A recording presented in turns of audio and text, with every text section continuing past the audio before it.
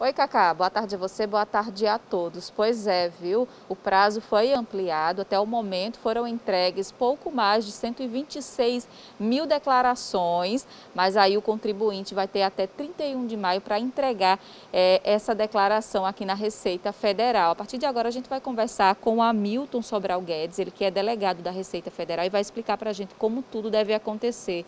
Hamilton, mesmo é, essa quantidade estando dentro do esperado, a Receita ampliou ampliou o prazo, não é isso? Correto. Mesmo a gente estando recebendo aí um pouco mais de 126 mil declarações, é, comparando com os anos anteriores, está dentro da nossa previsão de recebimento de declarações.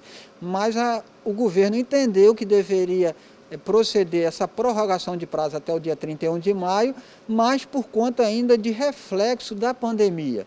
Então os contribuintes têm aí mais um mês para estar tá entregando, preparando toda a documentação para entregar a sua declaração.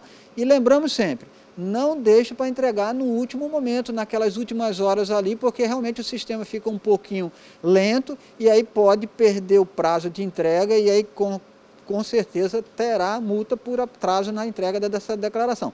Mas a Receita quer que o contribuinte entregue, não quer que ele pague penalidade alguma. E não tem diferença, viu, Cacá? O prazo é o mesmo, tanto faz para quem está dentro ou fora do país, né, Hamilton? Correto. O contribuinte, mesmo o contribuinte que está no exterior, o prazo é o mesmo, não tem modificação nenhuma para a entrega da, da declaração.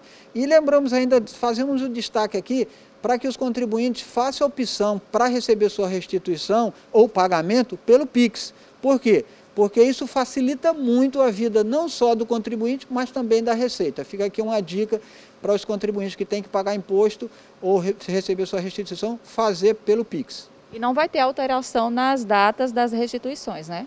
Exato, e aí é uma, é uma novidade importante, né? algo importante nós alteramos o prazo da entrega da declaração, mas o prazo de restituição continuam os mesmos, os prazos. Ou seja, o primeiro lote vai estar sendo contemplado no dia 31 de maio. Vai coincidir o, o prazo de entrega da declaração, prazo final de entrega da, da declaração, com o prazo inicial do recebimento do primeiro lote de restituição, dia 31 de maio.